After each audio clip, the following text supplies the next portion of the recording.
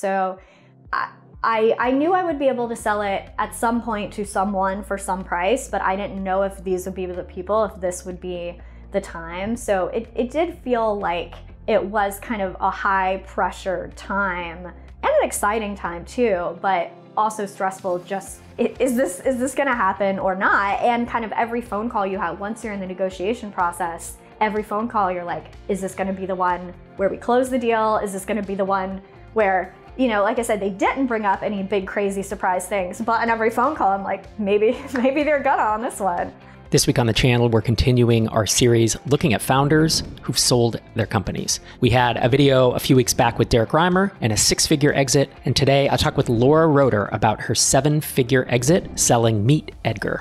Before we dive in, I wanted to thank our sponsor for this video, Quiet Light Brokerage. I'll talk more about them in a minute.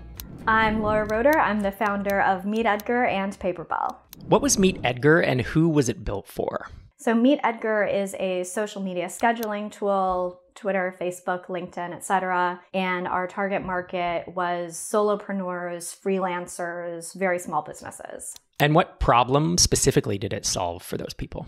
So, the problem Meet Edgar did and does solve is creating a library of content for your social media accounts and then the tool automatically repurposing it over and over again, which really means the problem it solves is fill up your social accounts with good, high quality content. And what were the price points and maybe the customer sizes or types? Yeah, so our price point was always around $50 a month, which I think is where it still is. Later, we added a lower tier for $29 a month, and our customer sizes were usually solo businesses, way less than five people. We didn't have a way to work with larger businesses or enterprise accounts or anything like that. And you decided to sell it, what, about a year and a half ago? What was the trigger that caused you to think, I want to sell this? Actually, the business had, the growth had flattened out and I was kind of dissatisfied with the business. And I considered a lot of different options of what to do with it. And what I ended up doing was kind of putting it in maintenance mode. So I let almost the entire team go. It was kind of running on its own. I did that for a few months. I thought that's the path I wanted to take. And then I didn't want to take that path. And actually, that was kind of the impetus for selling the business. I thought I wanted to do the maintenance mode thing. It wasn't fun. I decided I would rather just sell it and that the math worked out better to sell it. What wasn't fun about the maintenance mode? I think, like a lot of entrepreneurs, the building in the beginning is very exciting. That growth phase is very exciting. Uh, to have a business that you know isn't growing is just, it, it felt very frustrating. The idea was that I was just going to sort of accept that, you know, the cash was going to come in, but I wanted to be building and improving something. And can you give us an idea of where the business was at, maybe revenue wise, when you made this decision? Yeah, it was at a few million a year top line recurring revenue. And so you decide you don't want to do maintenance mode, you're going to sell it. What was the process like from there?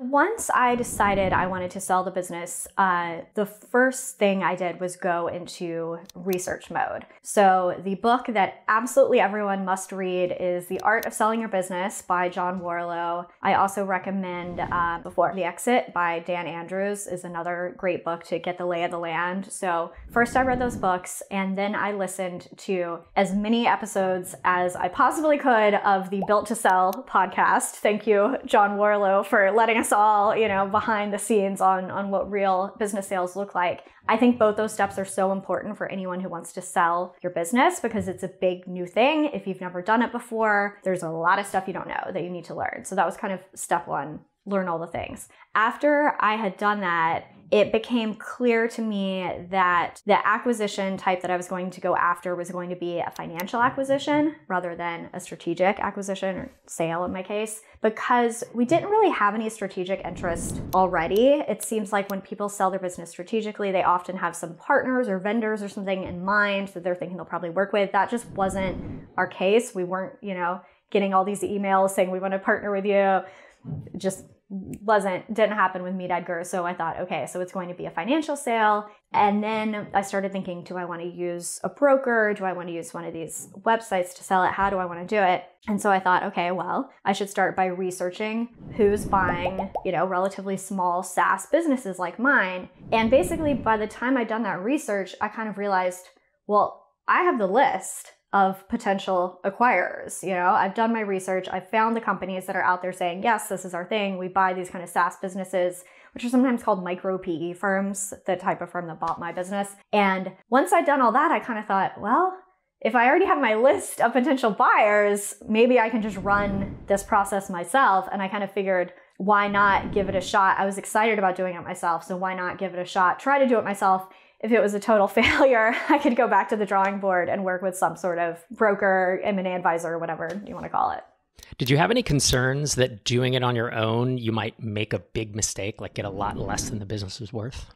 Sort of, but I felt like I was educated enough to have some idea of what the business was worth. Uh, before I started, I set a really clear number for what I would need out of the exit and I did have that maintenance mode to compare it to. So it's like, okay, I have this cash flowing business that's going to pay me this much a month, this much a year. You know, I did estimates of the revenue going down over time, you know, when I thought it might kind of peter out entirely. So I had a pretty good idea of how much it was worth and I felt excited about doing the negotiation. It wasn't it was definitely something new, but it was something that I was looking forward to diving into. And how did you decide on the price?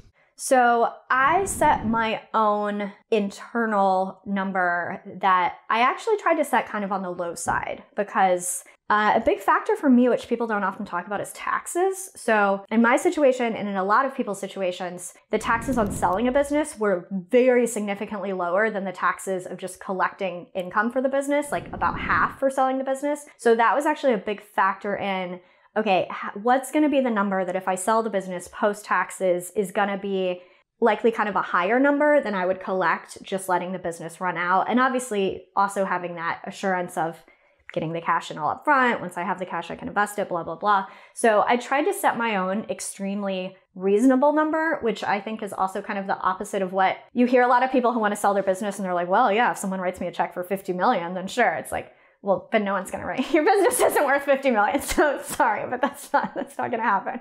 So I tried to set a number that I'm like, I feel pretty confident that I'll be happy with this. I can get this. And then if I get more, then great. So what was the initial response? You send all these emails to these micro PE firms. Like, did most of them respond or only a handful? Most of them did respond. And I, I had a very targeted list of acquirers. And I think something really important when you're selling your business is it's very important to hype yourself up about how great your business is. Because in this whole process the other party is going to chip away at the value of your business. And let's be real you want to sell it. You you see some problems with it right? And in one way or the other right? Or else you would hold on to it. So and it's our own business. We're always looking at the problems how to make them better blah blah blah. So i really hyped myself up, convinced myself on the value of this business. Again, nothing crazy, but it's like, okay, I have this number that I feel very confident that it's worth.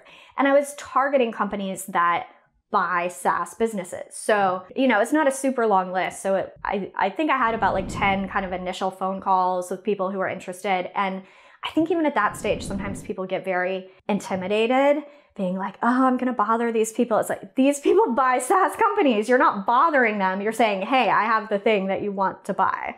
And so, how long did it take to find a buyer and how long to actually close the deal? So, it was all extremely fast. Um, so, it took, I think, about two months from kind of first round of emails to um, the LOI that turned out to be the LOI. Uh, I sold my business to SureSwift. All they do is buy SaaS companies. So by the time they bought my company, they had bought 40 SaaS companies. And kudos to them, they had their process down. So they told me it would be a 30 day due diligence, and it was. That's uh, I think that's pretty rare. Well, no, I think a 30 day due diligence is extremely rare from what, what I've heard about in other people's situations. But this was a nice thing about working with a company that this is just kind of all they did day in and day out. It was very formulaic for them.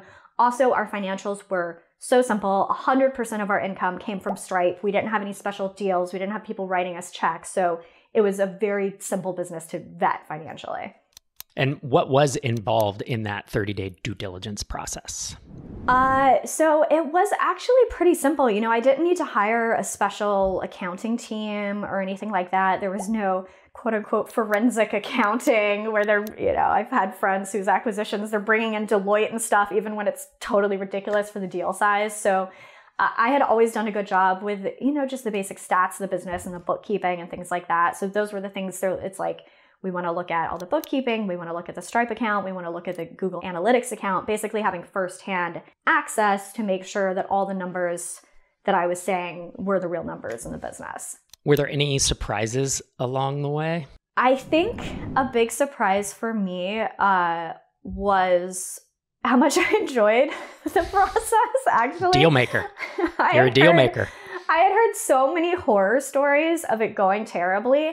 And I had never done anything like this before. I was very positive and extremely cautious at the same time because a big thing I had learned from all the research I had done is that there are a lot of people out there that play a lot of games. So I was on very high alert for all these red flags for the games. Um, and I think SureSwift did an amazing job not playing games, but I was also very conscious in just shut, shutting anything down right away. Like I didn't get into when they would kind of a common thing in the negotiation, right, is they're going to bring up negative points about your business and be like, "Oh, what about this? What about that?" And the way I handled that was always to say, yeah, you guys need to make a decision if this makes sense for you. So if they're like, oh, I don't like this about the tech, you know, I'd be like, you know what? Or they say, we're going to have to bring in this big tech team, we're going to have to bring in this specialist. I'd be like, do the math, you know, if that's what you're going to need to do, make sure the deal makes sense, make sure the price makes sense. I was never arguing about like, oh no, you won't need to do that or our tech's great. It was just like, okay, that's up to you. We both need to feel happy with the price, and that's all there is at the end of the day. It's a really nice way to handle it. Really nice way. So from the time you signed the letter of intent, there's a 30 day due diligence. Did the the offer or the deal change at all during that time? It did not change at all and so again i just have to give i have to give them props because i hear a lot of stories um, where it does change and something else i did is once i had the loi from sureswift i could see other companies that they had purchased uh, so I called up some of those companies and asked them specifically that question: Did the price change from the LOI to the sale price? Um, and a few of them told me that it had not. I feel like I should throw in too while I'm talking about it the team at SureSwift that I worked with has actually all left now and is now at a company called Big Band. So SureSwift, if you want to work with the people that I worked with, they're at a company called Big Band now. And throughout this whole process, what was the most stressful part of it for you?